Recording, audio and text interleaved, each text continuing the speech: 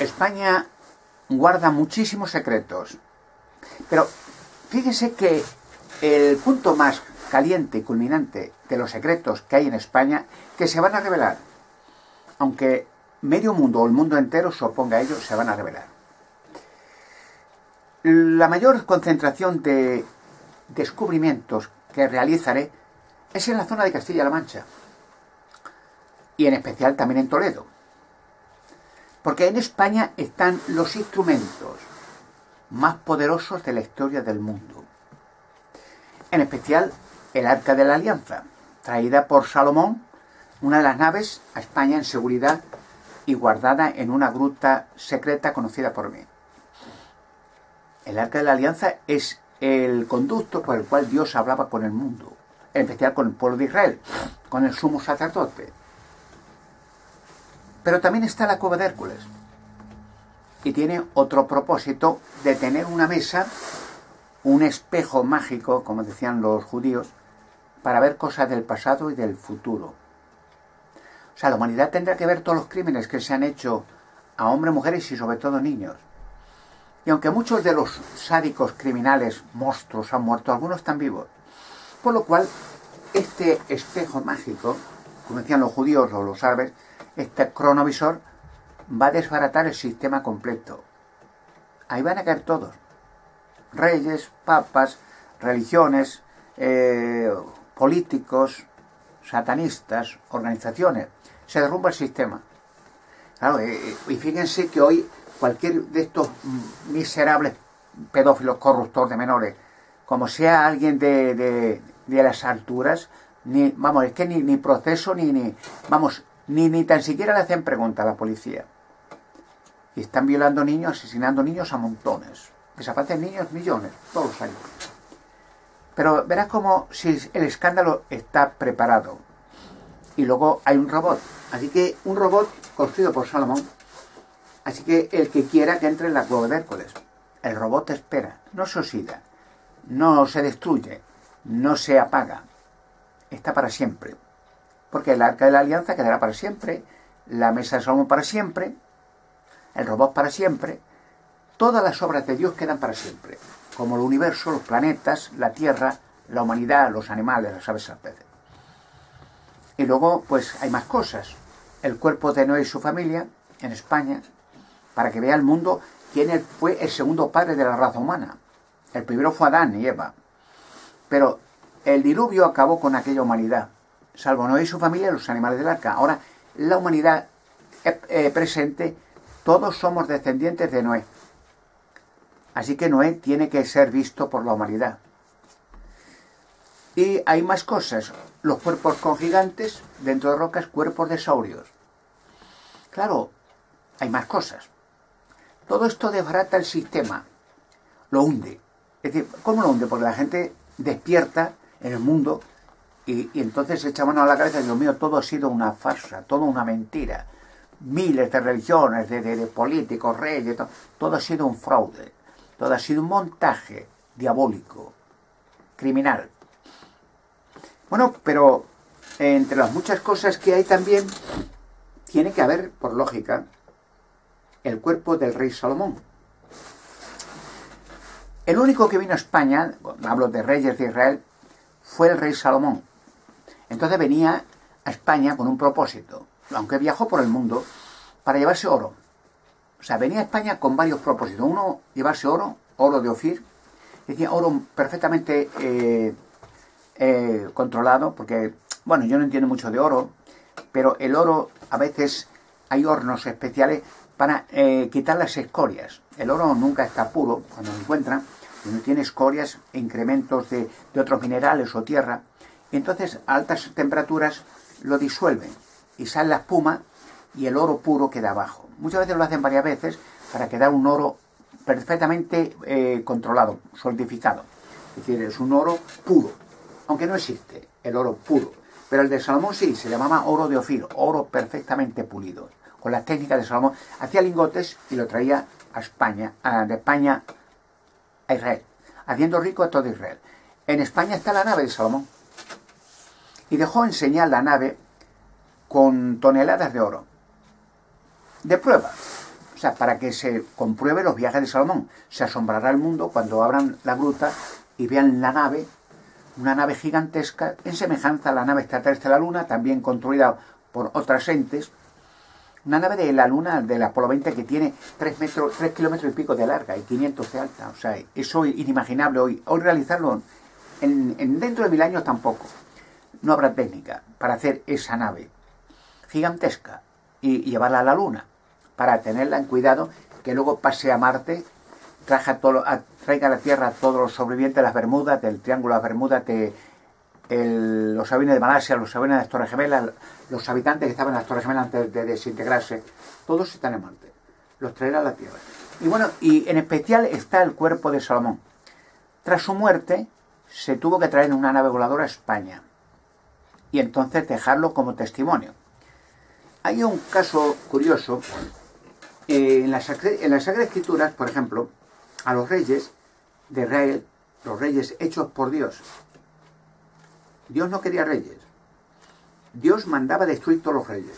La primera eh, proeza que hicieron cuando entraron los israelitas en, la primera ciudad, Jericó, aunque estuvieron 40 años vagando por el desierto, por falta de fe, por temor a los gigantes, la primera intromisión que hicieron con doce espías de Israel en la tierra prometida, lo que, es, Israel. Vieron gigantes a montones. Y el miedo a los gigantes le hizo eh, la duda de, del temor. Cuando Josué y Caleb no tuvieron miedo de los doce espías, dijeron, bueno, pues qué más da que haya gigantes, como si toda la tierra está llena de gigantes, pero si Dios nos ha librado de Egipto, ha hecho plagas en Egipto, nos ha alimentado con maná, pero si ha, destruido a los egipcios el mar rojo, pero si, pero, pero ¿qué importa que haya gigantes? el miedo a seres de varios metros. Y Dios los mandó castigar a aquellos hombres de poca fe, 40 años vagando por el desierto dando vueltas hasta morirse. Son los menores de 20 años para entraron. Cuando entraron en la tierra prometida, después de 40 años no vino más gigantes. Dios ya los había eliminado a todos. Bueno, pues Dios no quería reyes, quería profetas. Entonces hacía jueces de Israel, hombres valientes, hombres de fe, pero no reyes. Dios mandaba ejecutar todos los reyes que, había en la tierra, en la Canaán, montones, eliminarlos, porque eran puestos por demonios. Entonces eh, las noblezas Dios las odiaba, pero los israelitas querían reyes para ser igual que aquellos pueblos. Y Dios le dijo, cuando tengáis reyes, si queréis reyes, tenerlos. Pero os van a explotar, van a robar, o, van a violar a vuestros hijos, os van a pisotear, os van a tratar como, como, como la basura, y os van a arruinar y os van a llevar a, la ruina total y al destierro y, a la desintegración. No obstante, querían reyes. Tenían profetas, Samuel y otros profetas, otros jueces, Sansón. No, no, querían reyes, como paséis como los, vecinos, como las poblaciones vecinas, cuando Dios se había mandado eliminar todos los reyes. Y tuvieron reyes. La mayoría, pues, causaron terror en Israel hasta que ya por fin los últimos reyes ya en Babilonia, pues, eliminados, o sea, ya, la, ruina total les llegó con los reyes. Pero no obstante, puesto que quieren reyes, Dios también promocionó reyes. Pero uno de los reyes, el tercero, Salomón, puesto que su padre David quería hacer un templo, porque el arca de la alianza la llevaban en tienda de campaña y la dejaban en un lugar con levitas, somos sacerdotes de la hermanos, familia de Aarón, eh, de Moisés, Aarón. Pero el rey David dijo, no es justo que yo, un rey puesto por Dios, mm, viva en un palacio y el arca de la alianza, la representación de Dios en la tierra, en una tienda de campaña. No, vamos a hacer un templo, un lugar para que tenga un lugar mejor que, que mi vivienda, mejor que mi castillo. Hicieron un templo y le mandó Dios a su hijo Salomón. Es muy largo de contar, Salomón, cómo vino a la vida. Y Salomón, por premio haber hecho el templo con entusiasmo, un templo con unas piedras Hay una de las piedras en exposición en Israel que pesa 450.000 kilos. ¿Cómo creen que cortaron aquellas piedras? Las transportaron. Las técnicas del... Porque Dios le dio sabiduría a Salomón, súper sabiduría como un ángel. Y Salomón podía volar por todo el mundo con naves voladoras. Y España venía con naves voladoras y la Arca de la Alianza la trajeron con naves voladoras para que tuviera todo seguridad y tranquilidad. Imagínense que los puertos de Israel al sur de Israel, Etzion Geber se llama, en la, si miren en un, mapa, eh, desde ese puerto era imposible llegar a España con naves, eh, con barcos antiguos. Imposible. Hoy no se atreven.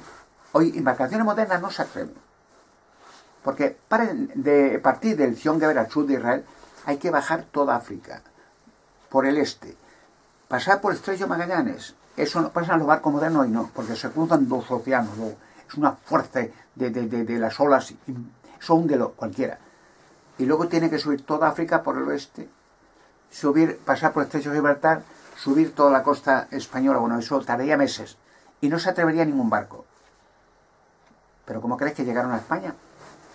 Venía cada tres años, dice la Biblia, eh, y, cargaba de oro y se lo llevaba a Israel, haciendo rico a todo Israel.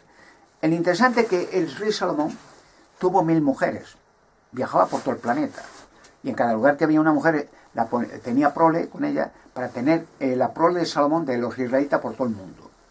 También en Toledo, claro. Yo soy descendiente de Salomón, ya lo comprobarán. Y entonces, lo curioso es que teniendo, dice la Biblia que llegó a ser Salomón el rey más rico del mundo. Tenía toneladas de oro. Claro, él podía traer toneladas. Entonces él se quedaba con toneladas. El general de los, de los asuntos económicos de Salomón, Adón Irán, está enterrado en Sagunto, en España, en Valencia, un pueblo de Sagunto. Hay un castillo allí, vivió Salomón allí también. Sagunto es muy popular, los héroes de Sagunto. Allí estaban enterrados los judíos y Adonirán. Y cuando el rey Salomón eh, tenía tanto poder, riqueza y sabiduría que Dios le dio, podía hacer de todo, un súper sabio, como un ángel. Pero curioso es que el tener mil mujeres ya se hizo viejo Salomón y ya se, hizo estúpido. Y empezó con la idolatría, que Dios odia, de hacer muñecos, estatuas de los baales, de mujeres, de la reina de los cielos y tal, todos esos actos satánicos que hacían los cananeos entonces Salomón empezó a ir a esos templos y a adorar allí. Se olvidaba quién le había dado el poder, la riqueza, la sabiduría y, el trono. Dios, el Dios de Israel, Jehová Dios, el Dios de Israel. Y entonces se hizo idólatra. Y en la Sagrada Escritura dice que Dios le dijo a Salomón que le dio un aviso judicial final. Digo, porque la promesa que he hecho yo a tu padre, David, David, que por cierto también el pobre David también cometió bastantes faltas graves, pero era, era honrado, lo reconocía. No se hizo idólatra, pero digamos, le gustaban mucho las mujeres. No tenía mil mujeres, tenía varias, tenía siete, ocho, pero Salomón mil. Pero no le indujeron al rey, a su padre David a la idolatría, la estupidez de adorarse, a rodearse ante muñecos y de barro, de pajo o de, de piedra. Salomón sí lo hizo. La locura inconcebible, una sabiduría como adorar un, trozo de piedra cuando Dios le había mandado ejecutar y destruir todos aquellos templos de, los vales, de la reina de los cielos, y quemar y, destruir a la gente y a los sacerdotes aquellos. Eran satánicos. Cuando murió le dijo que por la promesa que le había hecho a su padre, rey David, no le destruía, pero que moriría de mala manera. Y se hizo ya déspota Salomón y se hizo ya el peor de los reyes. Los reyes enterraban siempre juntos. Había zonas para los reyes de Israel, los fieles. Y a Salomón no. Salomón no fue fiel. Por lo cual Dios previó, puesto para que se haga una comprobación de, varios, de, varias técnicas. Una de ellas es la nave de Salomón. En España, la Cueva de Hércules, el robot, todo lo que hizo Salomón. Incluso en la Cueva de Hércules verán, los reyes de Israel tenían que escribir una Biblia, o sea, el Pentateuco. Y todos los reyes tenían que escribir a mano, bueno, que era la Biblia solamente lo tenían sumo sacerdote y lo leían los sábados en el templo, donde los, reyes tenían que escribirla para no olvidarse de la ley de Dios nunca. Y escribían el Pentateuco a mano, desde el Génesis hasta el Deuteronomio. Salomón también. Y el libro de Salomón, la Biblia de Salomón, Pentateuco, están también en la Cobra de Hércules, de testimonio. Y el cuerpo de Salomón se lo trajeron en una nave voladora a España a, una zona conocida por mí, como, la, como el Arca de la Alianza, para que se descubra el cuerpo de Salomón, se compruebe, además se verá en, varios jeroglíficos escritos en hebreo, el cuerpo de Salomón, rey Salomón, como se han descubierto el cuerpo de reyes en Irán hace un par de años, perfectamente conservado, de Salomón también, no porque fuera fiel, sino para que se compruebe y se hagan análisis de sangre y se compruebe mi sangre con la de Salomón. Salomón también tenía el ABRH negativo, que tienen o deben de tener la mayoría de los reyes. Yo le tengo. Entonces se haga un análisis del DNA y se compruebe mi sangre con la de Salomón, descendiente directo, como la misma sangre de los reyes, el rey Alberto Ganosa de Italia, descendiente directo. O sea, se vea una línea de generaciones que llega hasta mí. Y por eso yo seré también proféticamente el gran monarca. Ya mostraremos dónde está el cuerpo de Salomón. Claro, hoy por hoy todos estos documentos prohibidos, bajo severas amenazas, pero hasta de muerte, prohibido. En cualquier contexto de los gigantes de rocas, el arca de la alianza, la cuadra del cuerpo, todo prohibido. Y el cuerpo de Salomón más prohibido. por, por lógica, aunque no hay lógica aquí, se supone que los arqueólogos deben estar muy interesados. ¿Dónde está el cuerpo de Salomón? ¡Qué impresionante! Ni mencionarlo. Pero tendrá que mencionarlo y se verá en la gruta y se verá el cuerpo de Salomón, perfectamente conservado. Claro, todo esto causa pavor y temor, tanto incluso a la UNESCO, a los reyes de España, por ejemplo, al, al, Vaticano, a los satanistas, a los jesuitas, a los Illuminatis, a todo esto, porque un solo descubrimiento, como he dicho, que yo le saque, la popularidad que cogeré será internacional.